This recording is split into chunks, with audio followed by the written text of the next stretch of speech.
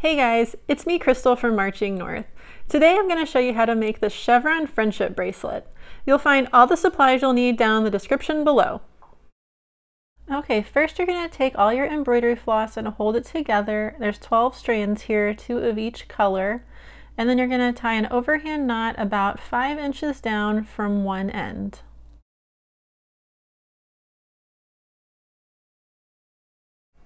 Then just tape it down to your desk and you're going to separate the cords so there's the same amount on the left and the right and that the colors are lined up the same. Okay, the knots you need to know for this bracelet are called the forwards knot and the backwards knot. Both of them are just two double half hitch knots, but one's going forward and one's going backward. You're going to grab the furthest cord on the left and you're going to hold it over the next cord in the shape of a four. And then you're going to push that end down underneath and through the loop and then you're going to pull it through and tighten it up. Then you're going to repeat that same thing, making the four shape, pu pushing the end under and through the loop, and tightening it as well. And that is your first forward knot. Put that color aside and you're going to start on the next color. And you're doing the same thing, making the four shape, pulling the end to the loop, and tightening it up. And doing that twice for each color of cord. Just repeat this for each color on the left side and then I'll show you what you do on the other side.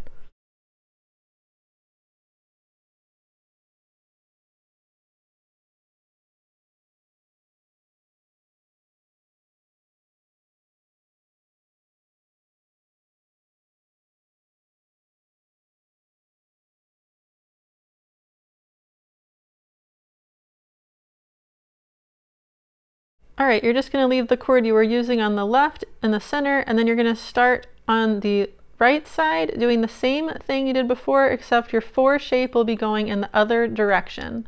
But besides that, it's exactly the same. So you make your backwards four, you bring the end up under and through, and you tighten it. And then you go to the next cord, the same one, you make sure you keep it in the same order as you did on the other side, and you do the same thing. Backwards four, pull it to the loop, and tighten.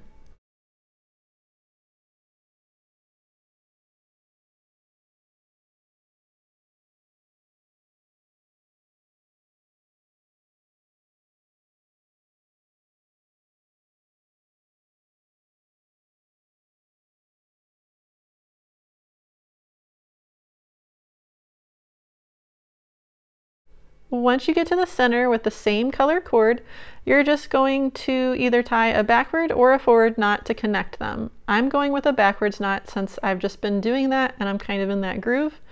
But you just want to do the same thing for each row, whatever you pick. All right, for the next row, you're just gonna start with the next color and you're gonna be doing the same exact steps we just did in that first row and you're just going to repeat this for each row until the bracelet is the length you want. Here's how it'll look once you've done one row of each color and then you just continue repeating that until you have the desired length for your bracelet. I did mine about five inches long. Then just tie one more overhand knot at the bottom of your bracelet and trim the excess cord off and you're done.